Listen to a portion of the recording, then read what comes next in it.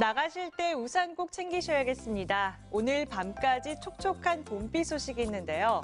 비의 양은 10에서 40mm로 적지 않겠습니다.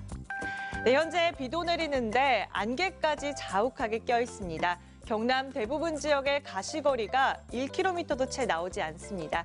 운전 조심하시기 바랍니다. 네, 이어서 위성 영상입니다. 비가 내리면서 미세먼지 농도는 현재 좋음 수준을 유지하고 있고요. 오늘 남해상을 지나는 저기압의 영향을 받다가 차차 벗어나겠는데요. 그리고 비가 오다가 밤에 경남 서부 지역부터 차차 그치기 시작하겠습니다. 자세한 지역별 날씨입니다. 아침 기온은 어제보다 8도나 높게 시작하고 있습니다. 창원, 통영 10도에서 출발했고요.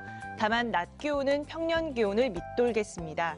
창원 12도, 창녕은 11도가 예상됩니다.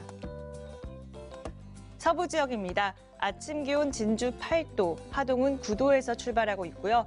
낮 최고 기온은 남해 11도, 거창은 10도로 쌀쌀하겠습니다.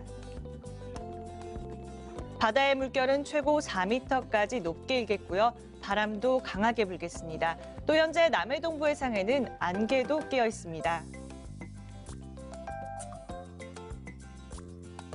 절기 춘분인 수요일에 또 한 차례 비 소식과 함께 부쩍 쌀쌀해지겠습니다. 주 후반부터는 포근한 봄 날씨가 이어지겠습니다. 날씨 정보였습니다.